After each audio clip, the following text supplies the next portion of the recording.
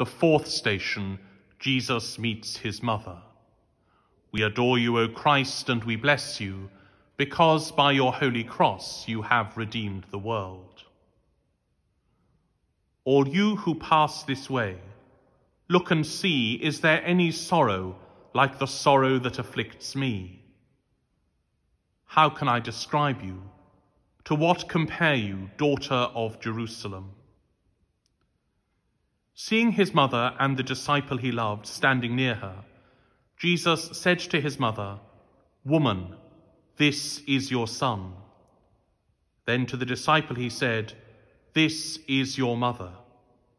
And from that moment, the disciple made a place for her in his home. With Christ and Our Lady, let us share the sufferings of all who are lonely, of all mothers who grieve for their children and of all divided families. Let us pray for those who at great sacrifice struggle to remain faithful to their marriage vows, and for all families in which the love of God is taught and revealed. Jesus, enfold our homes and families with the joy and peace of your home in Nazareth. Hail Mary, full of grace, the Lord is with thee.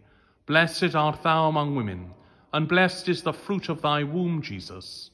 Holy Mary, Mother of God, pray for us sinners now and at the hour of our death. Amen.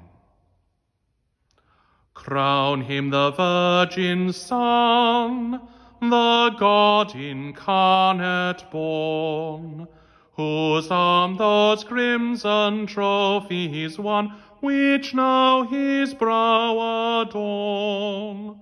Fruit of the mystic rose, as of that rose the stem, the root whence mercy ever flows, the babe of Bethlehem.